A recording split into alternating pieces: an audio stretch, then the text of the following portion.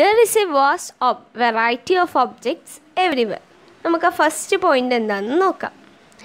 എന്താണ്? There is a vast variety of object നമ്മുടെ ചുറ്റും നമ്മൾ എടുത്ത് നോക്കുകയാണെങ്കിൽ എന്താ?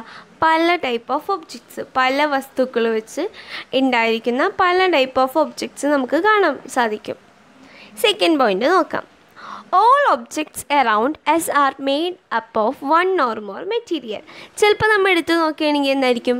മിക്കതും ചിലപ്പോൾ ഒരു മെറ്റീരിയൽ കൊണ്ട് അല്ലെങ്കിൽ ഒന്നോ രണ്ടോ mix ചെയ്തുണ്ടാവുന്നുണ്ടാവും okay a thing can be made of different material ഒരു വസ്തുവിനെ പല മെറ്റീരിയൽ കൊണ്ട് ഉണ്ടാക്കാം. എങ്ങനെയാണെന്ന് ആലോചിച്ച് നോക്കിയേ. എങ്ങനെയാണ് ഒരു വസ്തു തന്നെ പല മെറ്റീരിയൽ കൊണ്ട് ഉണ്ടാകുന്നത് ഇപ്പം നമ്മുടെ വീട്ടിലൊക്കെ അടുക്കളയിലുള്ള പാത്രങ്ങൾ ചിലപ്പോൾ എന്തായിരിക്കും? മെറ്റലിന്റെ കുറേ പാത്രങ്ങളുണ്ടാവും. അതേപോലെ പ്ലാസ്റ്റിക്കിന്റെ ഉണ്ടാവും. അതേപോലെ ചിലപ്പോൾ ഗ്ലാസിന്റെ കുറേ പാത്രങ്ങളുണ്ടാവും. അപ്പോൾ എന്താണ്? ഒരു സെയിം യൂസ് അല്ലേ? എല്ലാവരും നമ്മൾ എന്തിനാണ് യൂസ് ചെയ്യുന്നത്? ഫുഡ് കണ്ടെയ്ൻ ചെയ്യാനാണ് മിക്ക എല്ലാവരും നമ്മൾ യൂസ് ചെയ്യുന്നത്. അപ്പോൾ സെയിം പ്രോ സെയിം യൂസും പക്ഷേ എന്താണ്? മെറ്റീരിയൽസാണ് ഡിഫറെന്റായി വന്നുള്ളൂ. Okay many things can be made from same material പല വസ്തുക്കളും എന്താണ് സെയിം മെറ്റീരിയൽ കൊണ്ട് തന്നെ ഉണ്ടാക്കാൻ പറ്റും. പ്ലാസ്റ്റിക്കിന്റെ എത്ര വസ്തുക്കൾ നമുക്കറിയാം? ടോയ്സ് വെസൽസ് പിന്നെന്താണ്? ബോക്സസ് കണ്ടെയ്നേഴ്സ് സെയിം മെറ്റീരിയലാണ് പക്ഷേ പല പല വെറൈറ്റി ഓഫ് തിങ്സ് ആണ്. Okay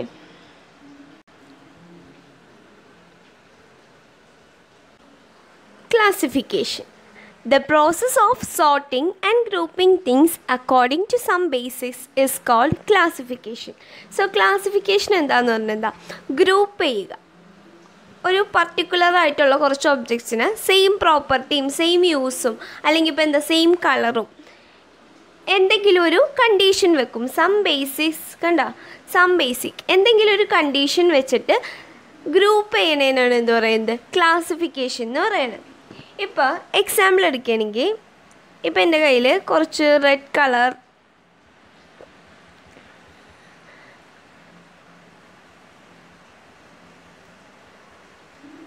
ഓക്കെ ഇപ്പം എന്റെ കയ്യിൽ കുറച്ച് റെഡ് കളറും ഉണ്ട് ഡോട്ട്സ് ഉണ്ട് ബ്ലാക്ക് കളർ ഡോട്ട്സ് ഉണ്ട്. അപ്പോൾ എന്റെ അടുത്ത് ക്ലാസിഫൈ ചെയ്യാൻ പറയണേ.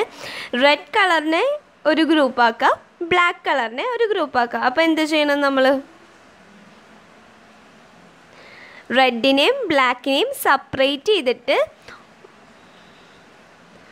റെഡിനെയും ബ്ലാക്കിനെയും സെപ്പറേറ്റ് ചെയ്തിട്ട് ഒറ്റ ഗ്രൂപ്പ് ആക്കണം.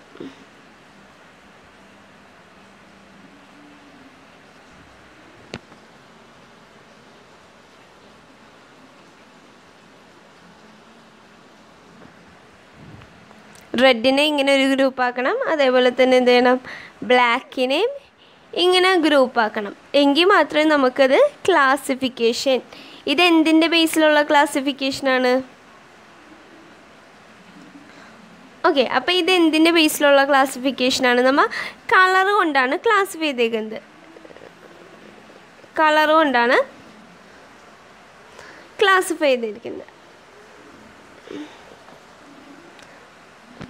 സോ നമ്മൾ ഇപ്പോൾ ചെയ്ത ക്ലാസിഫിക്കേഷൻ എന്തിന്റെ ബേസിലാണ് നമ്മൾ കളർ കളർ വെച്ചാണ് ക്ലാസിഫൈ ചെയ്തിരിക്കുന്നത് ഇപ്പോൾ എക്സാമ്പിൾ എടുത്തത് നോക്കിയേ. ഇപ്പോൾ എന്റെ കയ്യിൽ കുറച്ച് ബിഗ് സർക്കിൾസും ഉണ്ട്. കുറച്ച് സ്മോൾ സർക്കിൾസും ഉണ്ട്. സോ എന്നോട് ക്ലാസിഫൈ ചെയ്യാൻ പറഞ്ഞിരിക്കുകയാണ് ബിഗ് ഏതാണ് സ്മോൾ ഏതാണ്. അപ്പം ഞാൻ എന്ത് ചെയ്യണം? ബിഗ് ഉള്ളതിനെയൊക്കെ ഒരു ഗ്രൂപ്പ് ആക്കണം. അതേപോലെ സ്മോൾ ഉള്ളതിനൊക്കെ ഒരു ഗ്രൂപ്പ് ആക്കണം. ഓക്കെ ഇത് എന്തിന്റെ ബേസിലുള്ള ക്ലാസിഫിക്കേഷനാണ് ബേസിസ് ഓഫ് സൈസ് സൈസിന്റെ ബേസിസിലാണ് നമ്മൾ ഇപ്പോൾ ഇവിടെ ക്ലാസിഫൈ ചെയ്തിരിക്കുന്നത്. സോ ഇതാണ് ക്ലാസിഫിക്കേഷൻ ഇനിയിപ്പോൾ നമ്മൾ മെറ്റീരിയൽസ് ആണെങ്കിൽ എന്ന് പറയും? കുറേ പ്ലാസ്റ്റിക്കിന്റെ പ്ലാസ്റ്റിക്കിന്റെ കുറേ ഒബ്ജക്ട്സ് വന്നിട്ടുണ്ട്. കുറേ കോട്ടന്റെ കുറച്ച് ഒബ്ജക്ട്സ് വന്നിട്ടുണ്ട്. സോ നമ്മളടുത്ത് ക്ലാസിഫൈ ചെയ്യാൻ പറയുന്നത് പ്ലാസ്റ്റിക് ഒരു ക്ലാസിഫിക്കേഷൻ കോട്ടൺ ഒരു ക്ലാസിഫിക്കേഷൻ ആണെങ്കിൽ നമ്മൾ പ്ലാസ്റ്റിക്കിന്റെ ഒബ്ജക്ട്സിനെയൊക്കെ ഒരു ഗ്രൂപ്പാക്കി വെക്കുക കോട്ടന്റെ ഒബ്ജക്ട്സിനെയൊക്കെ ഒരു ഗ്രൂപ്പാക്കി വെക്കുക അതാണ് ക്ലാസിഫിക്കേഷൻ എന്ന് വിചാരിച്ചത്. The process of sorting things and grouping things according to some basis is called classification this of grouping we can group materials on the basis of similarities difference in their properties Each material have its own property that may differ from other. Some properties may be common to all or some materials. Okay എന്താണ് അപ്പോൾ എന്തിന്റെ താ എന്തിന്റെ ബേസിലാണ് നമ്മൾ group ചെയ്യുന്നത് നമ്മളിപ്പോൾ കണ്ട മൂന്ന് എക്സാമ്പിൾസിലും നമ്മൾ ഫസ്റ്റ് ഗ്രൂപ്പ് ചെയ്തത് എന്തിന്റെ ബേസിസിലാണ് കളറിന്റെ ബേസിസിലാണ് റെഡും ബ്ലാക്ക് റെഡും ബ്ലാക്കും ആയിട്ട് നമ്മൾ ഗ്രൂപ്പ് ചെയ്തത്. അടുത്തത് എന്താ ചെയ്തത്? നമ്മൾ സൈസിന്റെ ബേസിസിലാണ് നമ്മൾ ഗ്രൂപ്പ് ചെയ്തത്. അടുത്തത് എന്താ ചെയ്തത്? മെറ്റീരിയലിന്റെ ബേസിസിൽ നമ്മൾ ഗ്രൂപ്പ് ചെയ്ത എക്സാമ്പിൾ കണ്ടു. അപ്പോൾ ചിലതിനൊക്കെ എന്തായിരിക്കും? ചിലവർക്ക് ചില സിമിലർ പ്രോപ്പർട്ടീസ് ഉണ്ടാവും. ചില ഒബ്ജക്ട്സിന് എന്തായിരിക്കും? സിമിലർ പ്രോപ്പർട്ടീസ് അല്ലെങ്കിൽ ചില സിമിലാരിറ്റീസ് ഉണ്ടാവും. ഡിഫറൻസ് ഉണ്ടാവും. ഈ സിമിലാരിറ്റീസും ഡിഫറൻസും കണ്ട കണ്ടെങ്കിൽ മാത്രമാണ് എന്ത് നമുക്ക് ചെയ്യാൻ പറ്റുള്ളൂ? നമുക്ക് ക്ലാസിഫിക്കേഷൻ ചെയ്യാൻ പറ്റുള്ളൂ. അതേപോലെ തന്നെ ഓരോ മെറ്റീരിയലിനും അതിന്റേതായിട്ടുള്ള പ്രോപ്പർട്ടീസും ഉണ്ട്. ഒന്നിനെ മറ്റൊന്നിൽ നിന്ന് വേർതിരിക്കുന്ന പല പല പ്രോപ്പർട്ടീസ് അതുകൊണ്ടാണ് നമുക്ക് എന്ത് ചെയ്യാൻ പറ്റുന്നത്? ഓരോ ഒബ്ജക്ട്സിനെയും ഗ്രൂപ്പ് ചെയ്യാൻ പറ്റുന്നത്. അത് അങ്ങനെയാണ് നമുക്ക് എന്താണ്? ഓ ഇത് പ്ലാസ്റ്റിക്കിന്റെ ഗ്രൂപ്പിസമാണ് ഗ്രൂപ്പാണ്. അല്ലെങ്കിൽ ഇത് കോട്ടന്റെ ഗ്രൂപ്പാണ് റെഡാണ് ബ്ലാക്ക് ആണെന്ന് നമുക്ക് ഗ്രൂപ്പ് ചെയ്ത് സോർട്ട് ചെയ്യാൻ പറ്റുന്നത്. Material depend on the property and purpose for which it has been it has to be use okay നമ്മൾ ഒരു ഒബ്ജക്റ്റ് എടുക്കുകയാണെങ്കിൽ നമ്മൾ ഫസ്റ്റ് എന്താണ്? അതിന്റെ പ്രോപ്പർട്ടിയാണ് നോക്കുന്നത്. ഇതെന്തിനാണ് നമുക്ക് ആവശ്യം? അല്ലേ? ഓരോ മെറ്റീരിയലിനും ഓരോ ടൈപ്പ് പ്രോപ്പർട്ടിയാണ് എക്സാമ്പിൾ എന്താണെന്ന് നോക്കിയേ. ഇപ്പോൾ നമുക്ക് കണ്ടെയ്നേഴ്സ് കണ്ടെയ്നേഴ്സ് ഉണ്ടാക്കാൻ നമ്മൾ മെയിൻലി യൂസ് ചെയ്യുന്ന ഒബ്ജക്റ്റ് മിക്കവാറും പ്ലാസ്റ്റിക് ഗ്ലാസ് അല്ലെങ്കിൽ മെറ്റൽസ് സോ നമ്മൾ ഇപ്പോൾ എടുക്കുകയാണ് കോട്ടൺ വെച്ച് നമ്മൾ ഒരു കണ്ടെയ്നർ ഉണ്ടാക്കാൻ പറ്റുന്നത് അല്ലെങ്കിൽ ഒരു ഫാബ്രിക് വെച്ച് നമ്മൾ കണ്ടെയ്നർ ഉണ്ടാക്കാൻ പറ്റുമെങ്കിൽ അതിനെ നമുക്ക് കണ്ടെയ്നർ എന്ന് വിളിക്കാൻ പറ്റുമോ ഇല്ല. കാരണം എന്താണ്? അതിന് അതിനുള്ള പ്രോപ്പർട്ടി ഒന്നുമില്ല. കാരണം എന്താണ്? മെ ഫൈബറിന്റെ ഉള്ളിലേക്ക് എന്തെങ്കിലും അല്ലെങ്കിൽ കോട്ടന്റെ ഉള്ളിൽ നമ്മൾ എന്തെങ്കിലും ഇട്ടാൽ എന്ത് പറ്റും? അതിപ്പോൾ നമ്മൾ ഇച്ചിരി വെള്ളം ഒഴിക്കുകയാണെങ്കിൽ എന്ത് പറ്റും? താഴേക്ക് തന്നെ വീണു. അപ്പോൾ അതിന് കണ്ടെയ്ൻ ചെയ്യാനുള്ള ആ പ്രോപ്പർട്ടി ആ കോട്ടൺ തുണിക്കോ. ഇല്ല അപ്പോൾ നമ്മൾ അതിന് ഒരിക്കലും എന്താണ് കണ്ടെയ്നേഴ്സ് ഉണ്ടാക്കാൻ വേണ്ടി നമ്മൾ യൂസ് ചെയ്യത്തില്ല. അതേ അതിന് പകരം നമ്മൾ എന്ത് മെറ്റീരിയൽസ് യൂസ് ചെയ്യുന്നത്? പ്ലാസ്റ്റിക് ഗ്ലാസ് അല്ലെങ്കിൽ മെറ്റൽസ് അതിനൊക്കെ എന്തുണ്ട്? ഒരു ഒബ്ജക്റ്റിനെ കണ്ടെയ്ൻ ചെയ്യാനുള്ള കപ്പാസിറ്റി ഉണ്ട്. സോ അപ്പം നമ്മൾ നോക്കേണ്ട കാര്യം എന്താണെന്ന് വെച്ചാൽ ഓരോ ഒബ്ജക്ട്സിന്റെയും പർപ്പസ് പർപ്പസിനെ ഡിപ്പെൻഡ് ചെയ്ത് വേണം material material depend on the properties and purpose for which it is to be use എന്തിനു വേണ്ടിയാണോ നമ്മൾ യൂസ് ചെയ്യുന്നത്? അതിനായിട്ടുള്ള പ്രോപ്പർട്ടീസ് ആ മെറ്റീരിയലിന് ഉണ്ടോ എന്ന് നമ്മൾ മനസ്സിലാക്കിയതിന് ശേഷം മാത്രമാണ് നമ്മൾ ഓരോ ഓരോ ഒബ്ജക്ട്സ് ഉണ്ടാക്കാൻ വേണ്ടി ഓരോ മെറ്റീരിയൽസ് നമ്മൾ ചൂസ് ചെയ്യത്തുള്ളൂ. So metals have lustre while non metals generally generally have non lustre എന്താണ് ലെസ്റ്റർ എന്ന് പറഞ്ഞാൽ ലെസ്റ്റർ എന്ന് പറഞ്ഞാൽ നമ്മൾ ഈ ചാപ്റ്ററിൽ തന്നെ ഡീറ്റെയിൽ ആയിട്ട് പഠിക്കുന്നത് എന്താണ് ലെസ്റ്റർ എന്ന് പറഞ്ഞാൽ ലെസ്റ്റർ എന്ന് പറഞ്ഞാൽ ഷൈൻ ചെയ്യാനുള്ളൊരു പ്രോപ്പർട്ടിയാണ് ലെസ്റ്റർ എന്ന് പറഞ്ഞാൽ മെറ്റൽസിന് എന്താണ് മിക്കവാറും നല്ല ഷൈൻ ചെയ്യാനുള്ള പ്രോപ്പർട്ടീസ് ഉണ്ടാവും. പക്ഷേ പക്ഷേ നോൺ മെറ്റൽസിന് എന്തുണ്ടാ? ഷൈൻ ചെയ്യാനുള്ള പ്രോപ്പർട്ടീസ് ഇല്ല. ഹാർഡ്നെസ് ആൻഡ് സോഫ്റ്റ്നെസ് സോ നമുക്ക് നോക്കാം ഫസ്റ്റ് സോഫ്റ്റ്നെസ് എന്താണ്?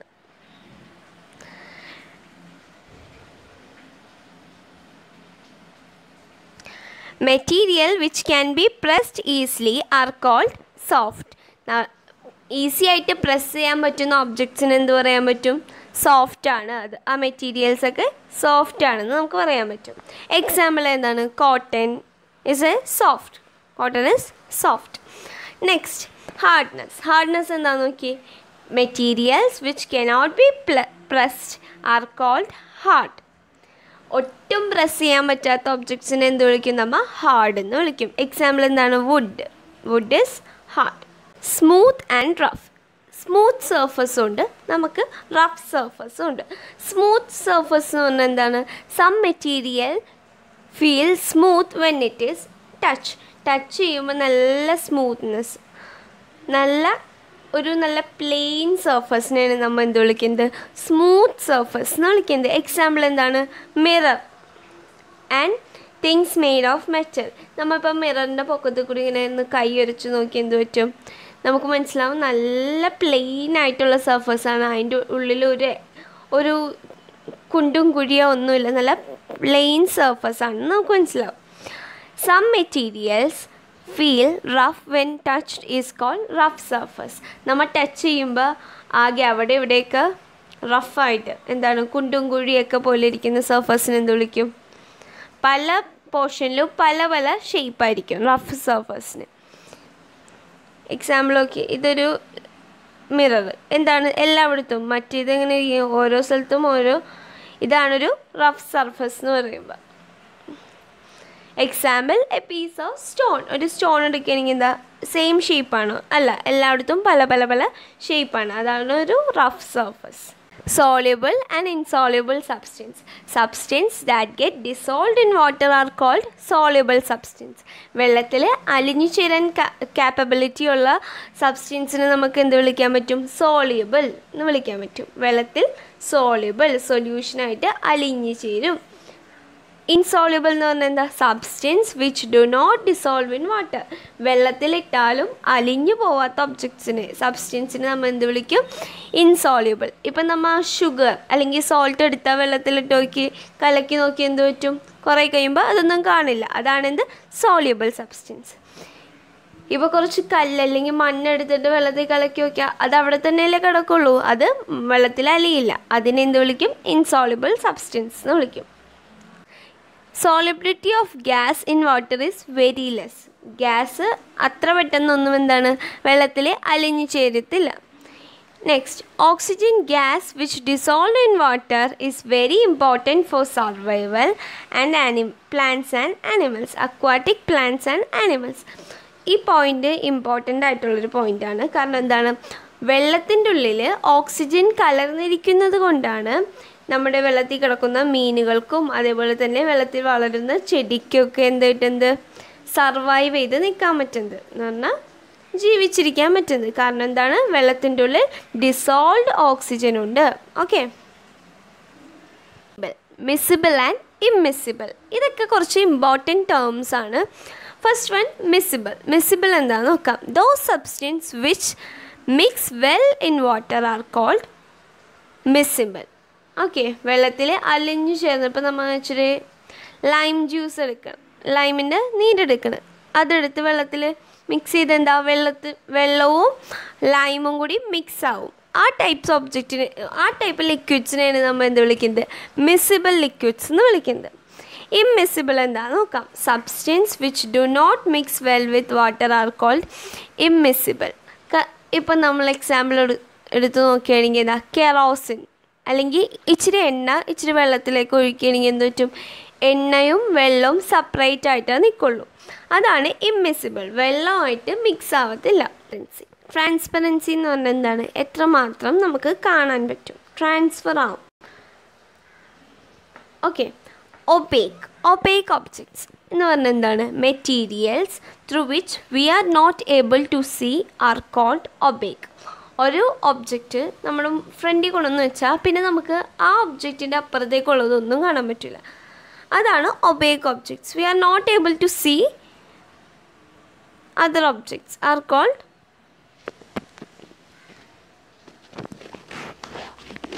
നമുക്ക് ആ ഒബ്ജക്ട്സിന്റെ ഉള്ളിൽ കൂടി കാണാൻ പറ്റില്ല. ആ ആ ടൈപ്പ് ഒബ്ജക്ട്സിനെ എന്ത് വിളിക്കുന്നത് നമുക്ക്? ഒബേക്ക് ഒബ്ജക്ട്സ് എന്ന് വിളിക്കുന്നത്.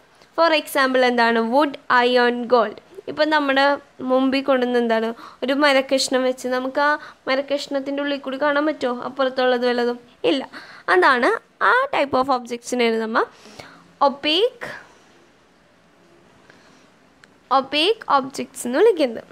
ഇനി next translucent translucent materials through which things are partially visible are called translucent partially visible എന്ന് പറഞ്ഞാൽ എന്താ?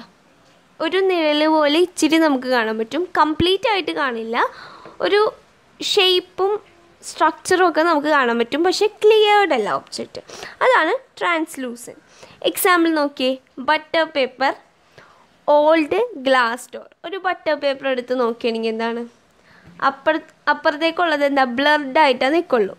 ക്ലിയർ ആയിട്ട് നമുക്ക് കാണാൻ പറ്റില്ല. അതേപോലെ തന്നെ old glass door next transparent materials through which we can see are called transparent നമുക്ക് ഉള്ളിൽ കൂടി കാണാൻ പറ്റുന്ന ഒരു ഒബ്ജക്റ്റിന്റെ ഉള്ളിൽ കൂടി കാണാൻ പറ്റുകയാണെങ്കിൽ എന്ന് വിളിക്കും ആ ആ ടൈപ്പ് ഓഫ് ഒബ്ജക്ട്സിനെ നമുക്ക് ട്രാൻസ്പെറന്റ് എന്ന് വിളിക്കാൻ പറ്റും. For example glass water air test tube glass ഒരു വിൻഡോ ഗ്ലാസ് വിൻഡോ ആണെങ്കിൽ നമുക്ക് എന്താ അതിന്റെ ഉള്ളിൽ കൂടി പുറത്തേക്ക് നമുക്ക് വിസിബിൾ ആണ്. അതേപോലെ വാട്ടർ പ്യുവർ വാട്ടർ ആണെങ്കിൽ നമുക്ക് വിസിബിൾ ആണ് അതിന്റെ പുറത്തുള്ളത്. എയർ നമ്മുടെ എപ്പോഴും ഉള്ള സംഭവമാണ് എയർ എയറിൽ കൂടിയുള്ള എയറിന്റെ ഒരു റെസിസ്റ്റൻസ് നമ്മുടെ നമ്മുടെ അറ്റ്മോസ്ഫിയറിലുണ്ട് പക്ഷേ ആ എയറിന്റെ ഉള്ളിൽ കൂടി നമുക്ക് ഓരോ ഒബ്ജക്ട്സും കാണാൻ പറ്റുന്നുണ്ട്. Test tube materials which have certain properties like luster, malleable, ductile, and are sonorous, good conductors of heat and electricity are called metals. അപ്പോൾ മെറ്റൽസ് എന്താണെന്ന് നോക്കാം. സോ ഫസ്റ്റ് പ്രോപ്പർട്ടി എന്താ പറഞ്ഞിരിക്കുന്നത് ലെസ്ട്രസ് ലെസ്ട്രസ് നമ്മൾ ഓൾറെഡി ഡിസ്കസ് ചെയ്തു. The property of shining shine ചെയ്യാനുള്ളൊരു കഴിവാണ്. ഇനി മാലിബിൾ എന്താ നോക്കിയേ? മാലിബിൾ എന്ന് പറഞ്ഞാൽ എന്താ? ഷീറ്റ്സ് ആയിട്ടും അല്ലെങ്കിൽ റോൾ ചെയ്യാനും പറ്റും പറ്റും.